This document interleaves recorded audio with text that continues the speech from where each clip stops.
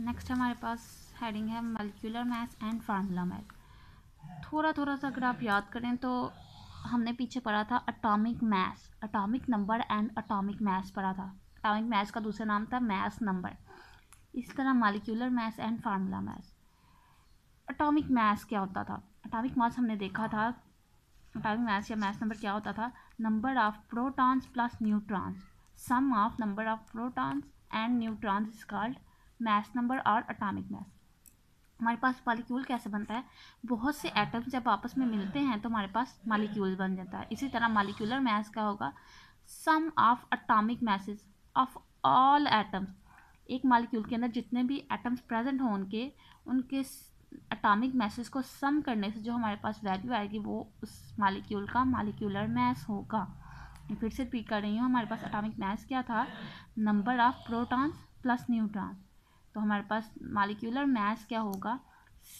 एक मालिक्यूल के अंदर जितने भी एटम्स हैं, उनके अटोमिक मैसेज का जो सम होगा हमारे पास, वो हमारे पास मालिक्यूलर मैस होगा। प्रेजेंट इन मालिक्यूलर सब्सटेंस ठीक है? The sum of atomic masses of atoms present in molecular substance is called molecular mass ठीक है? जैसे कि अगर हम इसकी एग्जांपल देखें, हमारे पास वाटर है। इसकी एग्जांपल हम आगे जाके देखते हैं। ओके hmm, नेक्स्ट हम देखते हैं फार्मूला मैथ क्या होता है। मैंने जैसे फार्मूला यूनिट था वैसे ही फार्मूला मैथ है। फार्मूला यूनिट ठीक है? Sum of atomic masses of atoms present in a formula unit of substance means N A C L की अगर हम बात करते हैं। फार्मूला यूनिट वही होता है।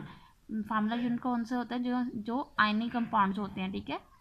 आयनिक कंपाउंड्स के मालिकुलर मैथ्स को हम फार्मूला यूनिट कहते हैं, उनके एटॉमिक मैथ्स को हम फार्मूला यूनिट कहते हैं, ठीक है? उनके फार्मूला को हम फार्मूला यूनिट कहते हैं। तो यहाँ पे ऐसे कंपाउंड्स की बात हो रही है फार्मूला मैथ्स में, जो formula mass basically ionic compounds के मैथ्स को फार्मूला मैथ्स कहते हैं, ठीक है?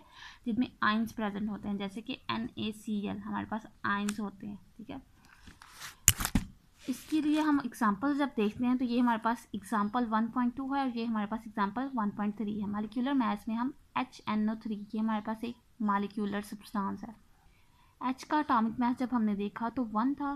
नाइट्रोजन का अटोमिक मैथ देखा तो फोर्टीन था। ऑक्सीजन का अटोमिक मैथ देखा तो सिक्सटीन था।